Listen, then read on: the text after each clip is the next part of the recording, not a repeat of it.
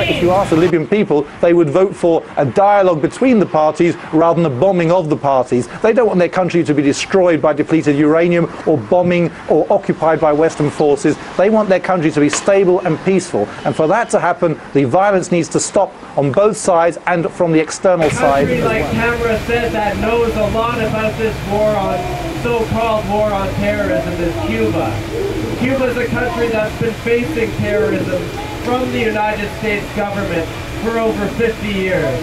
Terrorism that's killed, taken the lives of thousands of Cuban people, and including internationals who are in Cuba as well.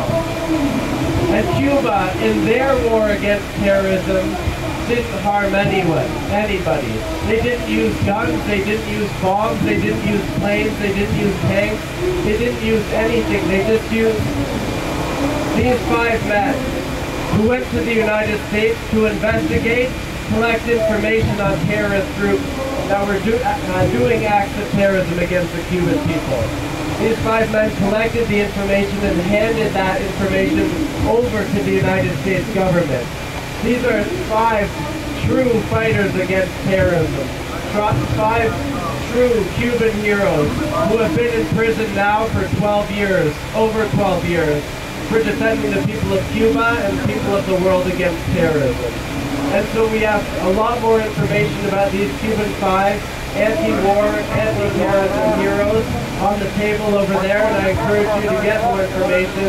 This is the poster for our monthly protest action to free the five, happening April 14th from 4 to 5 p.m. in front of the United States Consulate, and I'll be handing information to everybody about that after I'm done speaking. Thank you very much. Now, the uh, U.S. government and President Obama have said the reason why there's no need for more pressure on Bahrain or even some intervention, as there's been in Libya, is because the uh, king seems willing to have certain political reforms. So, is there some sign of some reform? No, and I'm very disappointed from this hypocrisy that's coming from the White House. Uh, when there is a revolution in, in Egypt, Libya, and Tunisia, somehow we're supporting that even reluctantly. However, when it is in Bahrain, uh, I see this blatant support to the regime and allowing uh, uh, the regime with cold blood to kill innocent Bahrainis. Looks like somehow the Bahraini blood is, is less important than the Libyan or Egyptian blood. Uh, also, the State Department is issuing some weak and, and, and, and, and very negative statements calling for both sides to, to restrain. I wonder what kind of restraint you want from an unarmed Bahraini civilian. The restraint should come from the forces that using live bullets. So why do you think there is such hypocrisy? Because Bahrain is, is, is a Fifth Fleet base. Uh, there is also, I think, an agreement made between the Obama administration and the uh, Saudi government that uh, will give you the green light for a certain period of time. See if you can crush this movement. If not, we have a plan B.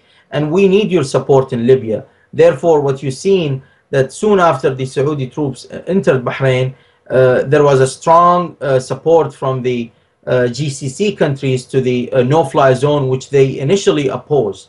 The Gulf Cooperation Council, it's under this rubric that the troops have gone in, if I understand it correctly, and, and because they're invited in, it's not considered a foreign intervention at, under normal international law. GCC charter does allow countries to uh, seek help from neighboring GCC countries, Gulf Cooperation Council, if those countries were attacked from a foreign force, if they were invaded by foreign force, to protect the nation, to protect the people of that country. There is nowhere in the GCC charter that says that if a country the country can seek help from neighboring country or other GCC country to kill or, or, or to suppress a democratic movement in the in the country. So this is an invasion. This is you cannot call Saddam's uh, uh, um, invasion to Kuwait as an invasion and occupation and call the movement of Saudi Arabia into Bahrain something We know what these people are capable of. We know what these criminals are capable of.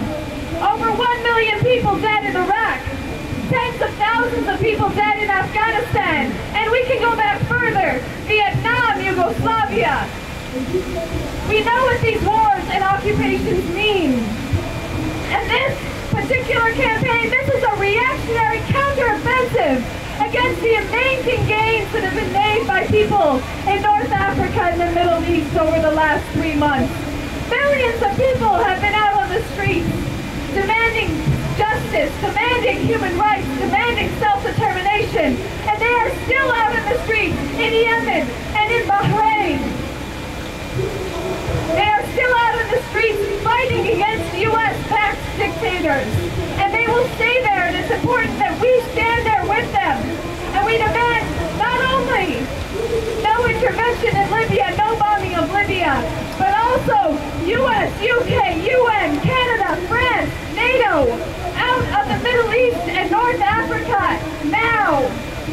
In this new era of foreign occupation, imperialist governments are shedding crocodile tears. They are talking about human rights. They're talking about justice, but they are sending bombs. Al Khalifa came to Bahrain in, nine, in 1790, so they've been ruling or close to that period. They've been ruling Bahrain for over 220 years. Since they came to Bahrain, they had this hereditary dictatorship, which means the uh, father gives the rule to his son, and uh, major uh, government posts, actually over 80% held or 70% held by the Al Khalifa uh, ruling family. And it's an, basically an autocratic, uh, authoritarian uh, rule where there is uh, no free or fair elections, uh, human rights are violated, torture is, is, is, is a policy uh, against political uh, prisoners, prisons uh, are full of political prisoners, and there is no uh, freedom, real freedom of press or expression, and the government brought mercenaries in their uh, security forces so they can attack the majority of military in Bahrain are full of mercenaries. There are uh, uh, the minority of the people who work in the military are Bahrainis. The overwhelming majority of them are brought up from uh, uh, neighboring countries like Yemen, Jordan, Syria, Pakistan, uh, and basically they were brought to to uh, brutalize the people of Bahrain. So you don't, you're not going to see defections there in the army. However, also in, in, in addition, uh, guns are not allowed in the country. So normal citizens, uh, normal Bahrainis, Bahraini citizens don't have access to gun. So the people of Bahrain only have this this right, these peaceful protesters, and trying to uh, appeal to the international community to apply pressure and stop the, the atrocities and the killing in the country, but to turn into uh, uh, an armed conflict between the protesters and the government, uh, it is just not possible in Bahrain. We're here today to say that silence and apathy in the face of oppression is shameful. We're here to say that silence in the face of oppression is shameful. There is a prophetic tradition which says the one who commits the oppression and the one who helps him and the one who is pleased with it, all three are partners in that crime. The oppressor today is Hamad bin Isa al-Khalifa and his troops. And you just heard how they've oppressed and killed and tyrannize and imprison the people of Bahrain. Yes, it's the people of Bahrain, regardless of their sectarian and denominational affiliations. This is not a conflict between the Shia and the Sunni. No. This is a conflict between the oppressor and the oppressed, between the tyrant and the one who is being tyrannized, and between the people of Bahrain and the leader and the ruler of Bahrain. Down with Hamad! Down with Hamad! Down with Hamad! Down with Hamad! Down with Hamad! Down with Hamad! And the helpers of the oppressor are the Saudi the Saudi government and the government of the United Arab Emirates. Let's not even call them a government. They are monarchists. And today we've gathered here to say, shame on them. Is it not enough for the Saudi monarchy? Shame, shame on Hamad!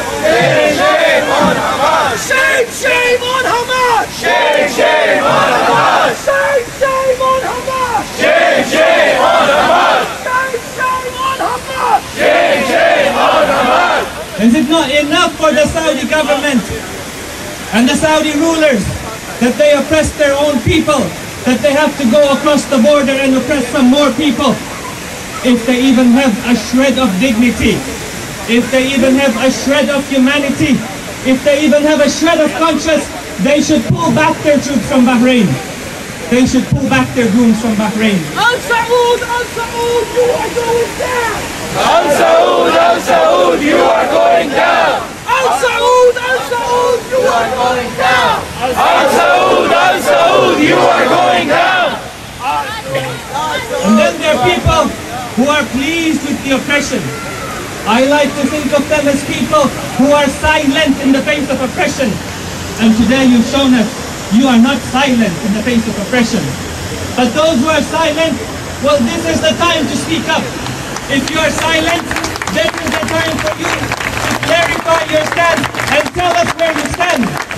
And I ask the Minister of Foreign Affairs, Lawrence Cannon, I ask him, what does it mean that you're willing to send six CF-18 fighter jets over Libya, but when it comes to Bahrain, let me quote for you what he has to say. When it comes to Bahrain, he says, Canada urges the government of Bahrain. But what does it mean to urge?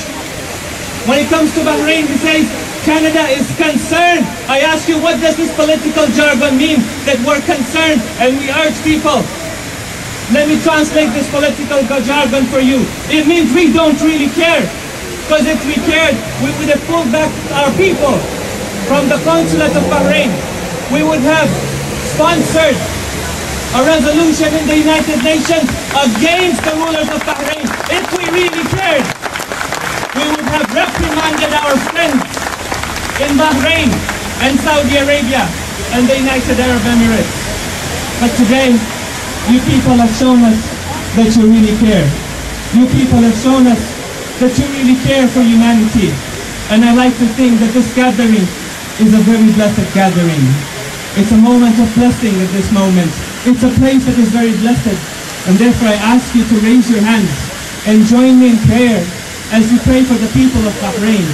I will read a prayer and say Ameen after me as loud as you can. Bahrain became an independent country in 1970-71. the relationship between the United States and Bahrain started in mid-50s.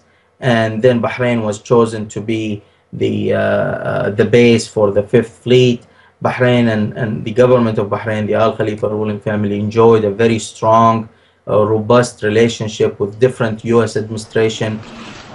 Tonight I'll have a statement. His Majesty will have a statement, and then we'll ask you all to leave. We've got some, we've got some business to do. First, uh, Your Majesty, welcome to the Oval Office. It is such an honor to have you here. Uh, America has got a great friend in the Kingdom of Bahrain. It's a place where we've had long-standing relations. It's a place where we've had uh, uh, mil-to-mil relations for, I think, nearly 50 years. And uh, you have been a, a, stalwart when it comes to peace.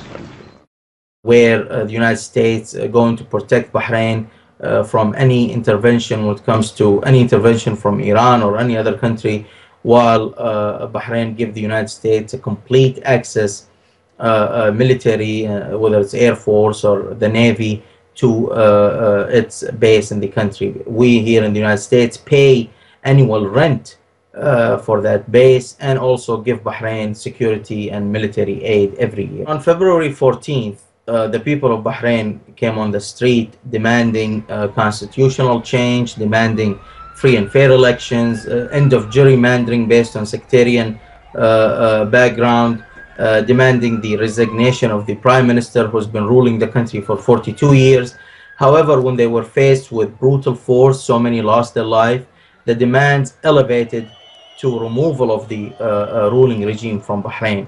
So right now, uh, despite the invasion, despite the killing, despite the uh, the massacres that took place, the resiliency in the people of Bahrain is still there. The defiant, they are uh, still protesting uh, they are still calling for uh, their their rights to be respected and, and, and, to be given and for the ruling regime to uh, leave Bahrain because they don't consider them part of Bahrain.